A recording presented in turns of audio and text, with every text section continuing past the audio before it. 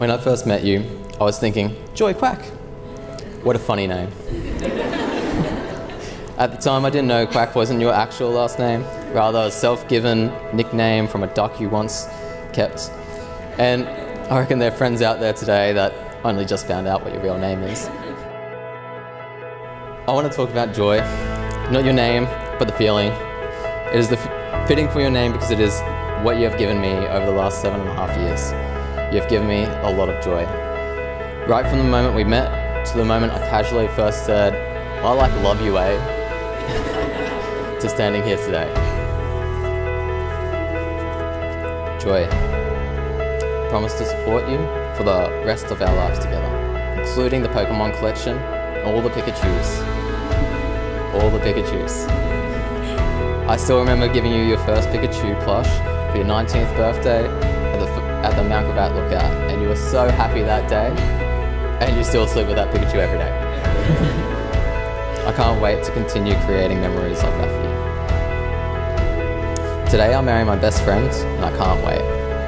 I call upon all friends and family here today to witness that I, Michael George Hart, take you, Joyanne Shane, to be my lawful wedded wife.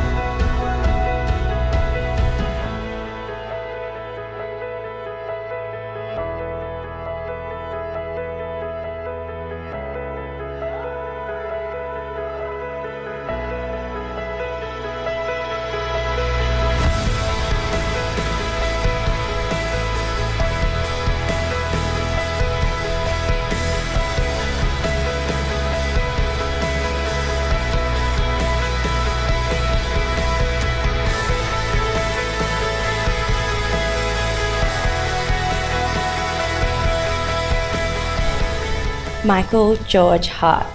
Where do I even start? Seven and a half years ago, when we met as 18 year olds, I didn't imagine that we would be here. You're kind of stalkerish. Like, come on.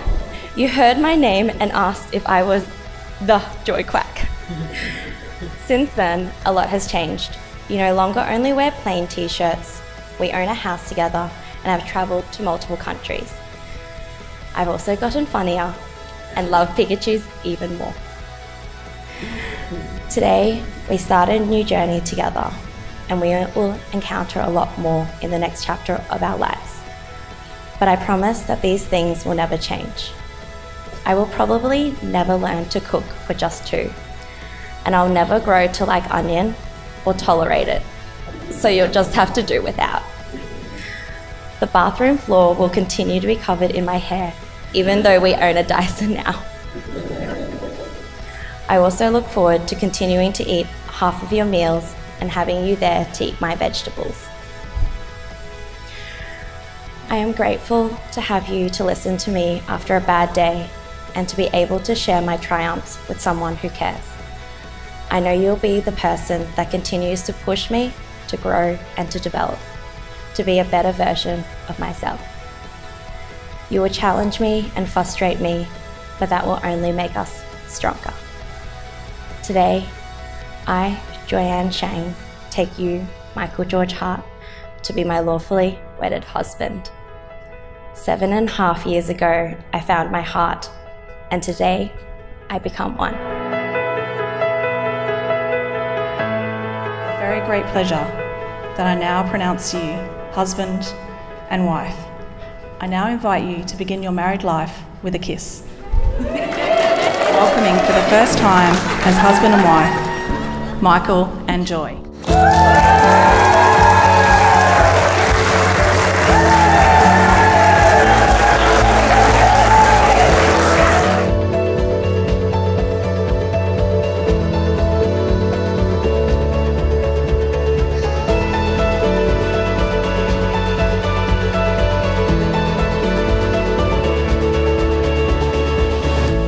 They say you don't marry the person you can live with, you marry the person who can't live without. And I think that my best mate and his beautiful bride have found that in each other.